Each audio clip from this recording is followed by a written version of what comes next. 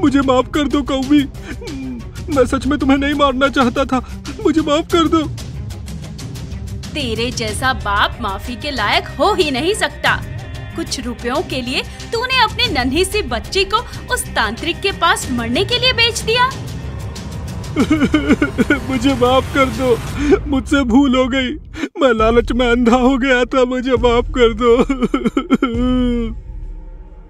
कौवा चुड़ैल को बहुत समझाता है, लेकिन चुड़ैल गुस्से में कौवे के टुकड़े टुकड़े कर देती है। एक दुष्ट को तो उसकी सही जगह पर पहुँचा दिया। अब उस तांत्रिक की बारी है। उसने मेरी बेटी को बहुत रुलाया है। आज मैं उसे नहीं छोड़ने वाली।